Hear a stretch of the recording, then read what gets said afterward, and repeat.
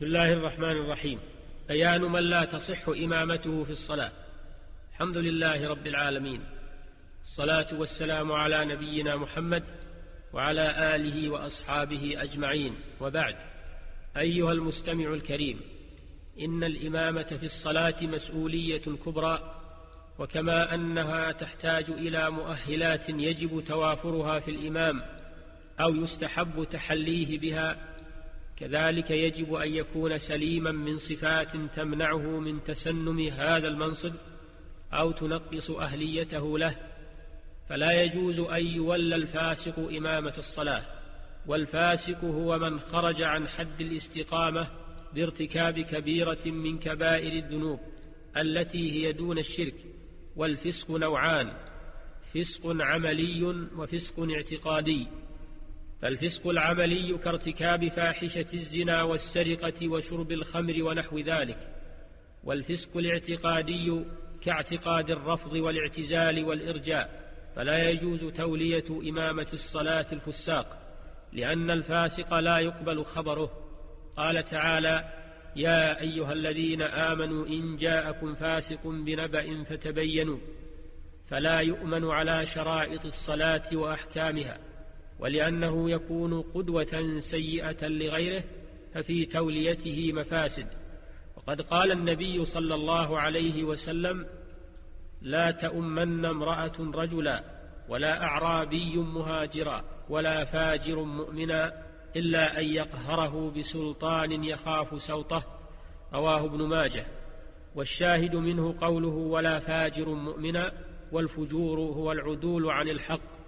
فالصلاة خلف الفاسق منهي عنها ولا يجوز تقديمه مع القدرة على ذلك فيحرم على المسؤولين تنصيب الفاسق إماما للصلوات لأنهم مأمورون بمراعاة المصالح فلا يجوز لهم أن يوقعوا الناس في صلاة مكروهة بل وقد اختلف العلماء في صحة الصلاة خلف الفاسق وما كان كذلك وجب تجنيب الناس من الوقوع فيه ولا تصح إمامة العاجز عن ركوع أو سجود أو قعود إلا بمثله أي مساو له في العجز عن ركن أو شرط.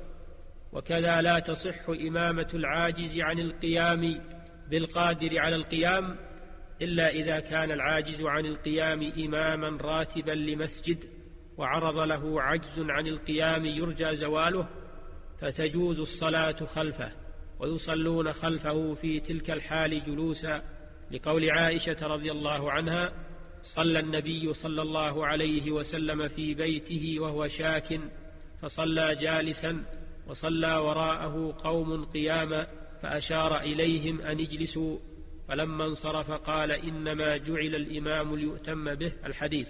وفيه وإذا صلى جالسا فصلوا جلوسا أجمعون. وفي رواية أجمعين وذلك لأن الإمام الراتب وذلك لأن الإمام الراتب يحتاج إلى تقديمه ولو صلوا خلفه قياما أو صلى بعضهم قائما في تلك الحال صحت صلاتهم على الصحيح. وإن استخلف الإمام في تلك الحال من يصلي بهم قائما فهو أحسن خروجا من الخلاف ولأن النبي صلى الله عليه وسلم استخلف فقد فعل الأمرين بيانا للجواز والله أعلم. ولا تصح إمامة من حدثه دائم كمن به سلس كمن به سلس بول أو خروج ريح أو أو نجو مستمر إلا بمن هو مثله في هذه الآفة.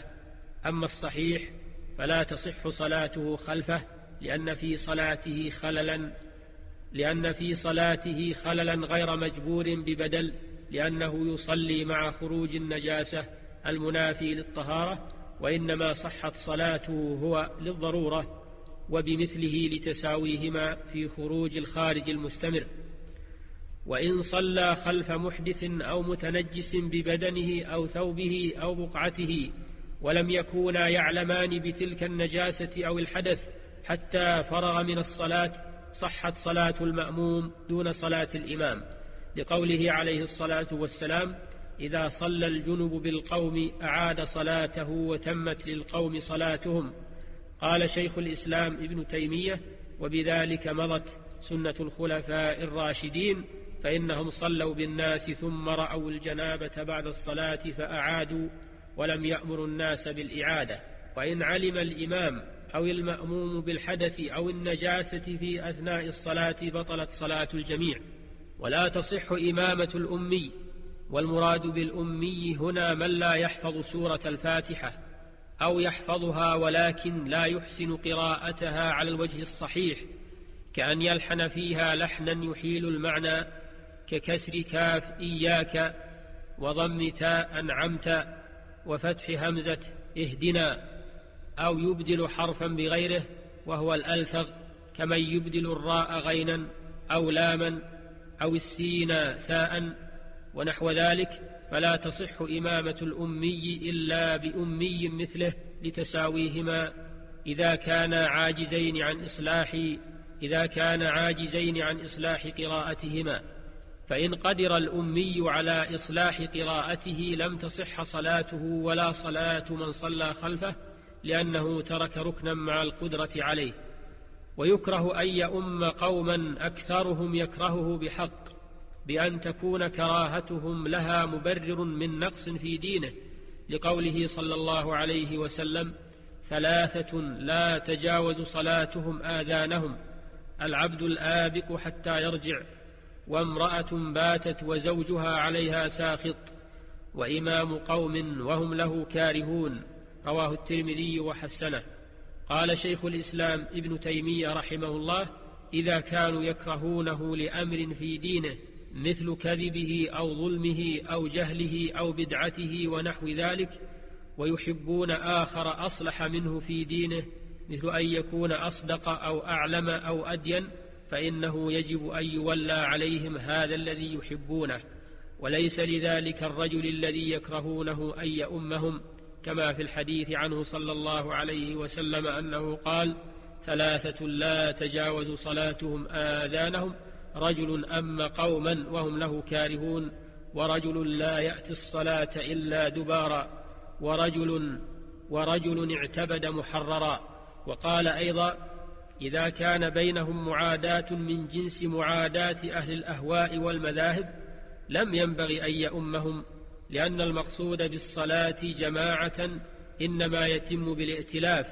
وقال عليه الصلاة والسلام لا تختلفوا فتختلف قلوبكم انتهى أما إذا كان الإمام ذا دين وسنة وكرهوه لذلك لم تكره الإمامة في حقه وإنما العتب على من كرهه وعلى كل فينبغي الائتلاف بين الإمام والمأمومين والتعاون على البر والتقوى وترك التشاحن والتباغض تبعا للأهواء والأغراض الشيطانية.